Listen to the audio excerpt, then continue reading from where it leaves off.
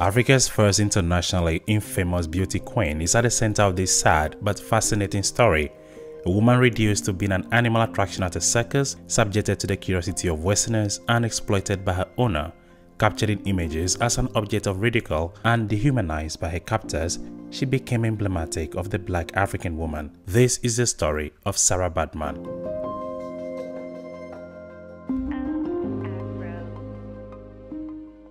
Her early years Sarah Baartman or Saartjie was a Khoisan woman from South Africa. By her teenage years, Baartman married a Khoikhoi man who was a drummer. They had a child together who died shortly after birth. When Baartman was 16, her husband was murdered by Dutch colonists. Soon after, Sarah became the property of Cezar, who would then set a future tragic timeline of her life. You are about to witness a truly remarkable phenomenon. A female savage from the dark continent Africa. Initially, she was shipped off to Cape Town as a servant, but things were soon to change.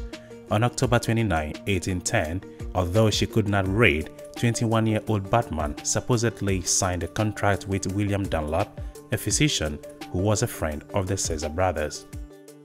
This contract required her to travel with the Cezar brothers and Dunlop to England and Ireland, where she would work as a domestic servant, since technically slavery had been abolished in Great Britain. Additionally, she would be exhibited for entertainment purposes. The contract stated that Baartman will receive a portion of earnings from her exhibitions and will be allowed to return to South Africa after five years. However, the contract was false and her enslavement continued for the remainder of her life The making of Hottentot Venus.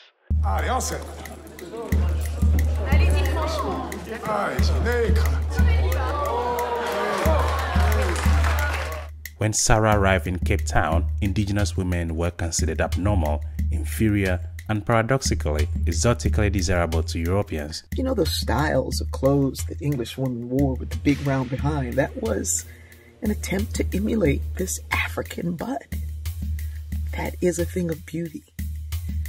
And while Sarah was carried around, displayed, and treated like some kind of freak, others were trying to copy that look.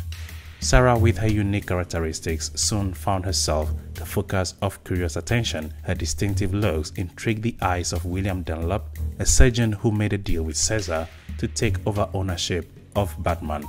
Dunlop put Sarah on display in London as a primitive and extraordinary phenomenon of nature. He made her go naked to anyone who was willing to pay a shilling. The rich would pay higher prices in order to touch her at places unimaginable. Her large back in particular was their point of interest. Curiosity turns to perversity. Remember how the contract stated that she will receive a portion of the entertainment earnings and be allowed to return to South Africa after five years? Well, that never happened. She was put on display as an oddity in London. May I see the document with Lord Caledon's signature? No.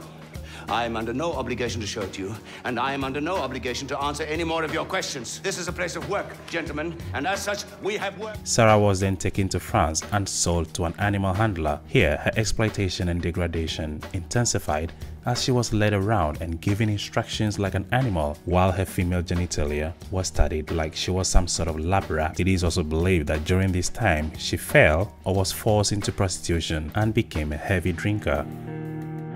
The story blurs. During her time in France, historical documentation on Sarah's life becomes conflicting while some claim she was given the option of being set free and returning home, others believe that she was coerced into continuing her role as Hottentot Venus. When the African Association heard about Sarah Baartman and how she was being treated and what was happening with her, they decided to take the case to court. The evidence that they were presented with suggested that she wasn't being treated well, she wasn't being paid well, and she didn't even understand the terms of her contract. But when they questioned her, she testified in William's favor, stating that she wasn't being forced to do the work and that she was there on her own free will. My lewe is in the opvoeding nie. Ek speel. In real life, I'm not the person I am on stage. I'm acting. It could be argued that by this stage, Sarah had lost all self-respect and hope and had, in a sense, given up on life. Some reports claim she enjoyed the attention and company of French high society, while some believe she was used as nothing more than a prostitute and object of sexual interest. Popular perception. Europeans at the time saw Africans as an oversexed, primal, lesser race, representing the link between animals and humans and the lowest form of human development. According to reports, however, Sarah was multilingual and due to the diverse cultures she had experienced, she could speak fluently her own native language in addition to French, Dutch and English.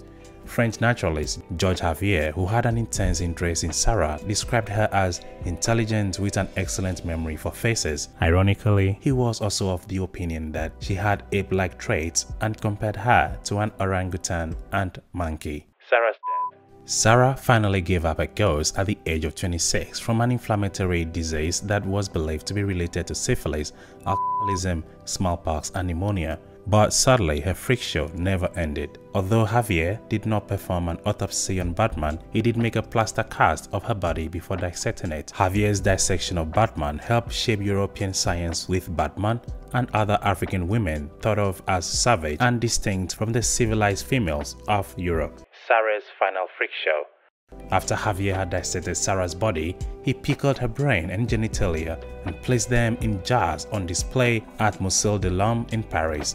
There they remained for over a century until 1974 as proof of Cuvier's theory of racial evolution. Her organs, genitalia and buttocks were thought to be evidence of a sexual primitivism and intellectual equality with that of an orangutan. The struggle to get Sarah home Following South Africa's first free and democratic elections, then President Nelson Mandela requested that Sarah's remains be returned home. Not undo the damage that was done to her.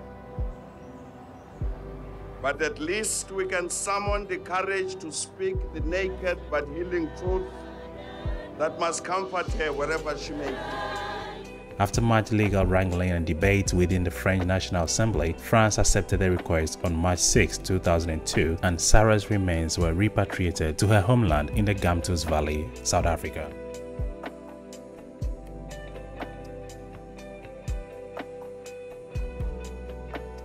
Sarah's impact on South Africa.